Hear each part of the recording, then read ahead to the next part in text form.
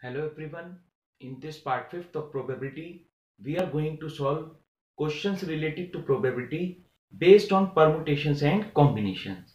So let's start with the question number 1a part. In question number 1a part, what they are saying, four cards are drawn from a well shuffled deck of 52 cards. What is the probability of obtaining three diamonds and one spade? Now we have, let us suppose E is the event getting three diamonds and one spade getting three diamonds and one spade one spade now first of all probability of event. In this case it means probability of e is given by favorable outcomes. How many diamonds are there? First of all diamonds. 13 diamonds are there out of 13 we have to select 3 13 c3 into 1 spade. Now how many spade we have?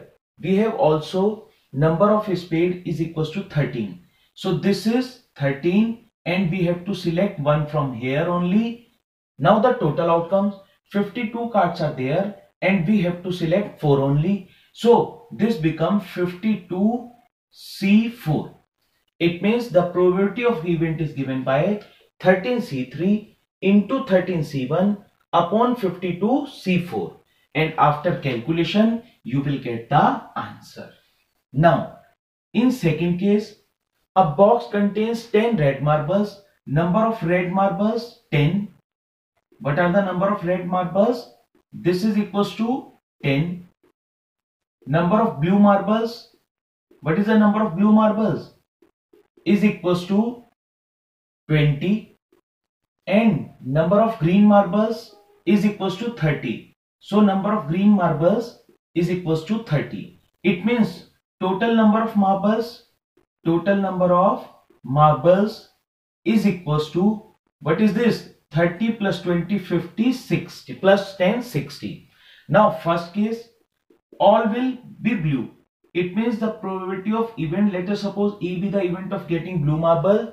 Now how many marbles we are selecting? 5 it means blue 20 altogether we have blue marbles 20 it means 20 c5 upon total marbles 60 and this is 60 c5 so this is the answer for this part. Now the second case. Let f be the event for getting at least one will be green. So probability of event at least one will be green, one will be green is equals to is equals to 1 minus no one will be green. So no one will be green means what this become? This is the part is equals to 1 minus Total number of marbles which are not green 30. It means we can say 30 C5 upon what is this thing? Divided by total. What is the total number of marbles? 60 and this is 60 C5 and this is the answer for this part. Now the third part. In third part they are saying one is red and one is green so in this case, probability of event, let us suppose F is the event. One is red. One is red means 10C1 into one is green. It means 30C1.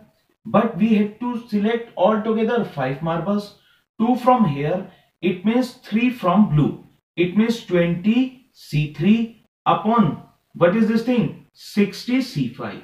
And this is the answer for this part you have to do the calculation also then give the correct answer.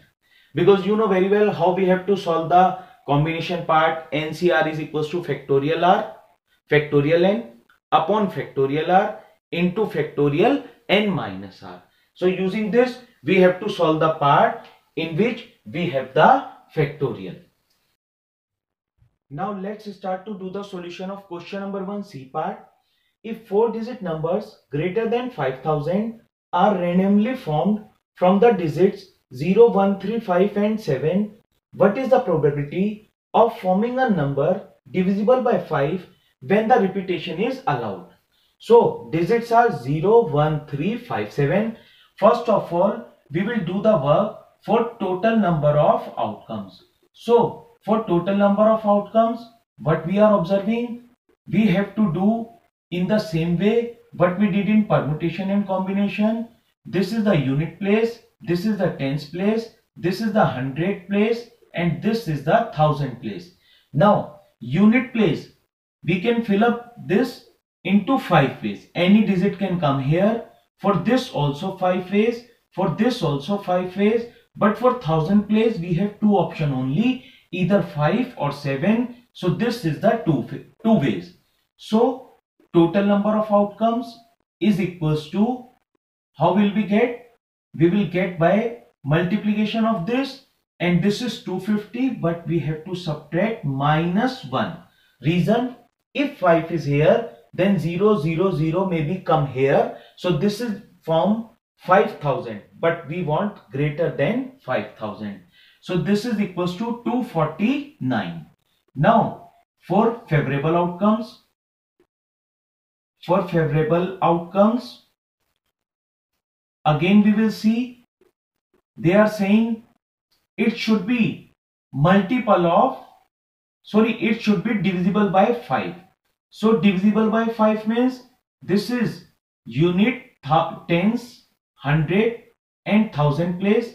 Now divisible by 5 means here we can get two numbers only 0 or 5 that only in that case it will be divisible by 5 so two ways here 5 ways here 5 ways but same thing here here we will get two ways only reason either 5 or 7 will come so total number of favorable outcomes is equals to we will get favorable outcomes is equals to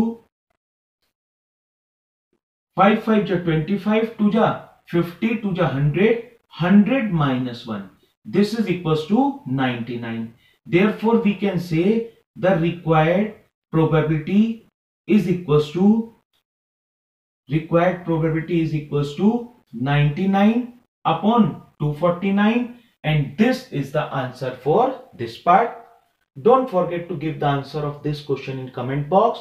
Thanks and God bless you.